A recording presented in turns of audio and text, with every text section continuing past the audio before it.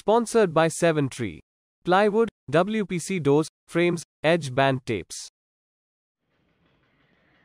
चमकुरा मल्लारेड्डी तेलंगाना श्रम और रोज़गार मंत्री मुनुगोडू निर्वाचन क्षेत्र उपचुनाव के अवसर पर टीआरएस पार्टी प्रत्याशी कुसु कुंतला प्रभाकर रेड्डी चौतुपल मंडल अंतर्गत अरे गुडेम गाँव में चुनाव प्रचार में भाग लिया सौ लोगों के साथ बाइक रैली में भाग लिया और घर घर प्रचार अभियान में भाग लिया मेडचल निर्वाचन क्षेत्र, फिराजादी गुडा mayor Jakka Venkat Reddy, Teresa party के नेताओं और अन्य स्थानीय नेताओं ने इस कार्यक्रम में भाग लिया।